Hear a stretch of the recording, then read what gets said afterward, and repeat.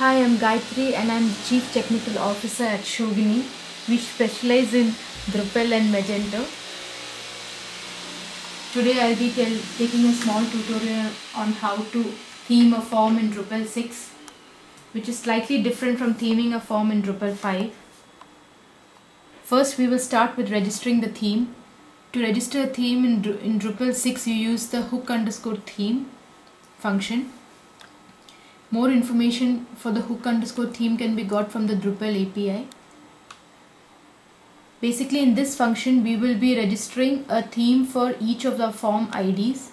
So we will be using the form ID as the array key and then we will specify the arguments that should be passed to the callback function and we, we will specify a callback function in which our theme will be mentioned. So here I have two forms my form 1 and my form 2 and I'm passing the form as a parameter to the callback function. Next step is to define the callback function. Here you define the callback function with the theme name. So currently I have a theme called my theme. So my theme should be the uh, it should it should be the first part of the function.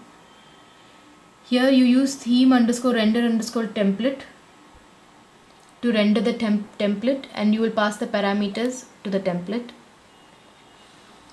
It is important to pass the form parameter in this format and not directly to the to the template file.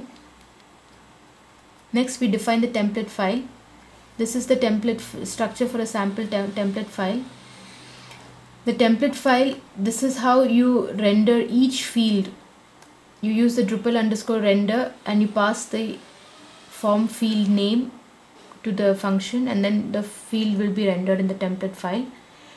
To see the changes, you have to ensure that the cache is cleared. So you go to the admin site configuration performance and clear the cache. This should set you up with Drupal forms.